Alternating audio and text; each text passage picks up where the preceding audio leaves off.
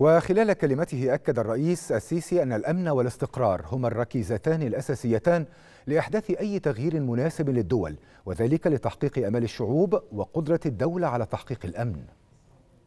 الاستقرار والأمن إذا غاب عن دولة اوعوا تطلبوا من الدولة دي إنها تتقدم أبدا. لن تتقدم. وده ده موضوع بقى ماليش دعوة هو جه إزاي. هي خطة. هو استهداف هو عدم وعي الناس.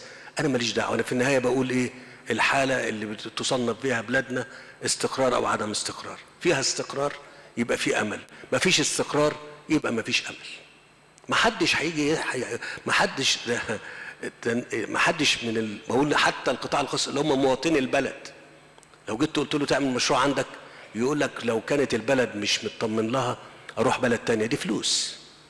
والناس بتخاف على فلوسها. أرجع تاني أقول النقطة المهمة جدا جدا هي الاستقرار والأمن.